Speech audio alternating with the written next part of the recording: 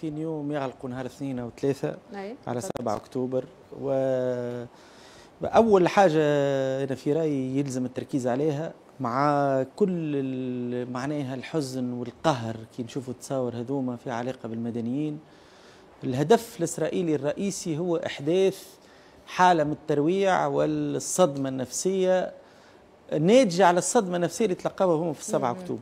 وحالة الجنون والارتباك الكبيرة اللي ما كانوش ينتظروا كما قال اليوم حسن نصر الله قعدوا حتى للساعات الأولى نتاع الصباح وهم مازالوا مش عارفين كيف شو. أصلا حتى دعوات النجدة اللي جاية من المستوطنات من قبل المستوطنين الإسرائيليين للجيش الاحتلال آه، ما تمش الاستجابة عليها بشكل فوري قعدوا يستناوا ساعات.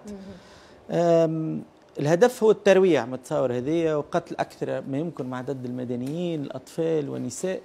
لكن بعد بشهر أنا ما نجمش ما نركزش على موازين القوى والأهمية متاع على الميدان للحرب هذه. خاطر في الآخر هي حرب.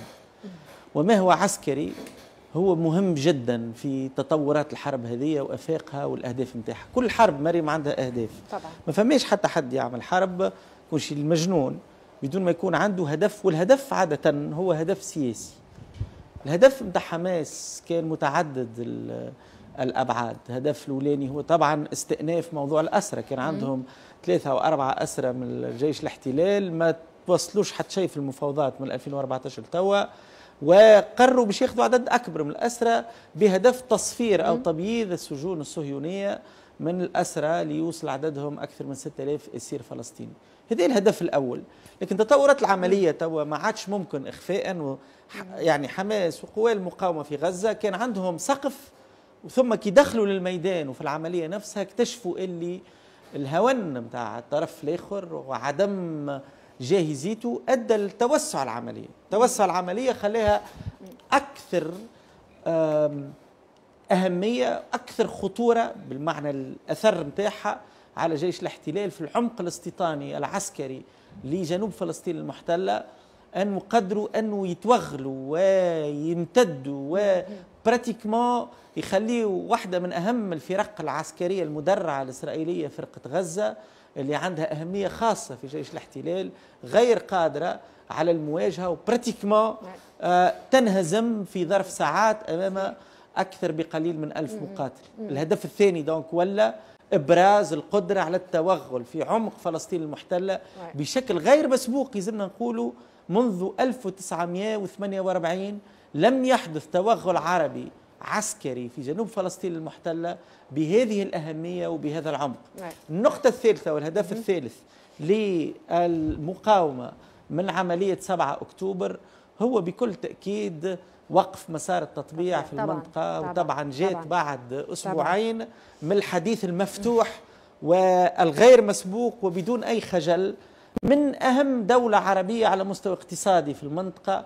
وعندها رمزيتها الدينية اللي هي العربية السعودية ولي العهد السعودي محمد بن سلمان عمل مداخلة شهيرة في قناة فوكس نيوز حوار شهير قال فيه لأول مرة أقر لهما على أبواب إقامة تطبيع مع إسرائيل. الهدف الرابع هو عملية استباقية لعملية كان يتم التحضير لها من جيش الاحتلال منذ سنوات في إطار استراتيجية عسكرية إسرائيلية جديدة لمواجهة المقاومة. وقال صالح العروري اللي نعتبره هو العقل السياسي لعملية 7 أكتوبر اللي هو نائب رئيس المكتب السياسي لحماس ومقيم الآن في بيروت وهو موجود في عملية التنسيق نتاع محور المقاومة. قال الهدف هو استباق تلك العملية. في المقابل عنا ما هي الأهداف السياسية للجيش الاحتلال؟ مقابل أربعة أهداف هذه اللي كنت نحكي فيها اللي هي أهداف تم تحقيق جزء كبير منها التطبيع تم تعليقه في أقل الحالات. صحيح.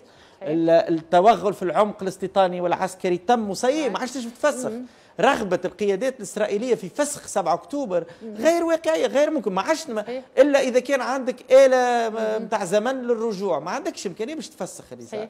مسألة الأسرة جاية جاية. ما عندهمش. تو هما يقولوا تبادل الأسرة ولا إطلاق ال- الأسرة اللي هما 200 و- واش 240 إسرائيلي وإنكومبري من حملة معناتها الجنسية المزدوجة بدون قيد أو شرط هدف غير واقعي. ماهيش باش تطلق المقاومة أي شخص بدون عملية تبادل باش تصير عملية تبادل. العملية الاستباقية فشلت. موضوع المفاجأة موضوع رئيسي في الحرب. المفاجأة هي تحسم 50% من مسار المعركة. توا ما عادش فما إمكانية للجيش الاحتلالي يعمل مفاجأة. كل الخطوات الإسرائيلية هي خطوات متوقعة ومعلومة. تو نرجع من بعد لحسن نصر الله لأنه حب يحافظ على موضوع المفاجأة اللي سماه الغموض الم... الغموض البناء. الجيش الاحتلال الأهداف اللي حطها كلها غير واقعية. وقعدوا مضطربين بين القضاء على حماس. حماس كحركة سياسية ممتدة وكفكرة لا يمكن القضاء عليها. وقالوه الأمريكان هذا وقالوه لهم الأمريكان بشكل خاص. هذا هدف غير ممكن وقالوه حتى في العلن طارق اللي قالوا يعني ممكن. ما تعملوش وما تردوش الفعل كيما إحنا عملنا مع أفغانستان وبعد 11 سبتمبر وفي العراق. يعني نبهوهم من هذا وفي الأخر بعد ما تم نقاش الموضوع هذا في الكواليس خاصة في غرفة التنسيق الأمريكية والإسرائيلية وهذا بتسريبات نيويورك تايمز والول ستريت جورنال في الأخر ولا الهدف بشكل علني جابوا من رف الخطة العسكرية القديمة متاع التهجير ولكن الخطة العسكرية هدفها التهجير بال... بالأساس أنه في الآخر ما تنجمش تقضي على حماس بدون تهجير. لكن حتى الخطة هذه خطة مش فقط غير ممكنة التحقيق بل حتى حلفائهم معنيين باش يكونوا خصومهم. الرئيس المصري معناتها عبد الفتاح السيسي وصل عمل مؤتمر خاص لوقف موضوع التهجير. مازالوا مصرين بعد المؤتمر آه. هذاك ومازالوا شادين الصحيح.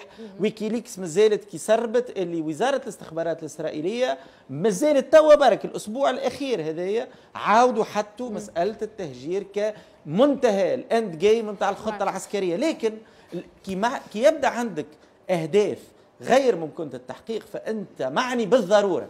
بالهزيمة لأنه نعم. الناس توا تحكي شنو هي الحروب اللي من نوع هذايا الحروب الغير متوازية ال asymmetric هذه بين طرف أقوى على مستوى المتسلح ولا طرف أضعف هو قدرة حماس على البقاء في قطاع غزة هو هزيمة الطرف الإسرائيلي. يعني كنت كي تحط هدف غير. قابل للتحقيق. في الأخر كي باش نرجعوا لنفس الوضعية حماس مش فقط باقية بل هي تتحكم في الوضع في قطاع غزة. الخط الأحمر اللي أعلن عليه حسن نصر الله هو هذايا اليوم فإنه في الأخر أنت حققت أهداف غير. إذا بعد بشهر الخلاصه بعد بشهر من العمليات العسكرية بعد بشهر 300 ألف جندي من جيش الاحتلال ينتظروا ومتردين وقتاش باش يدخلوا مرة يدخلوا من الشمال ومرة يدخلوا من الشرق. في الأخر حتى حد حتى حتى هدف من الأهداف الإسرائيلية ما هو بصدد التحقيق في المقا إلا باستثناء قتل عدد كبير من المدنيين باستثناء أنه الجانب الآخر جانب المقاومة هو حقق جزء كبير من أهدافه. نعم. هذا اللي يلزم في رأيي نركزوا عليه. اللي هذا ويلزمنا نفهموه ونحلوه حتى في مواقفنا إحنا في كدولة وكتونس مانيش